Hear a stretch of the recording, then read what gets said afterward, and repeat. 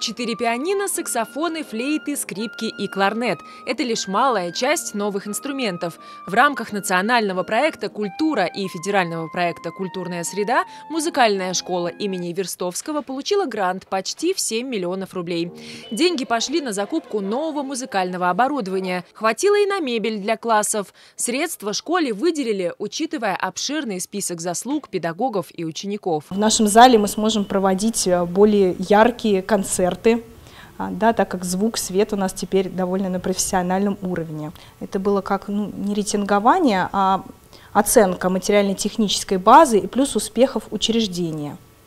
У нас а, в прошлом году было 4 стипендиата губернатора Московской области, и в позапрошлом тоже четверо детей стали стипендиатами губернатора Московской области. Александр Тинк – выпускник этой музыкальной школы. Молодой человек поддерживает отношения со своими бывшими педагогами и с удовольствием приехал в Альма-Матер протестировать новые инструменты. В наше время, когда я еще учился в школе, а, ездил на конкурсы, такого инструмента, к сожалению, не было.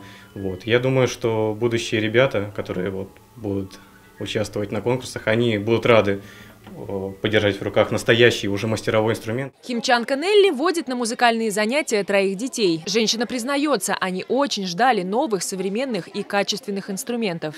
Для музыкальной школы это, конечно, огромное значение, потому что, в принципе, все, что они здесь делают, поют, играют, танцуют, это все только с музыкой. Огромная благодарность, что у государства находится возможность а, уделить внимание детям, которые хотят, тянутся к культуре, хотят развиваться в области музыки, театрального искусства и пополнять сцены наших больших театров. И педагоги, и родители, и сами ученики уверены, с новыми инструментами у них будет гораздо больше побед и свершений на музыкальном Олимпе.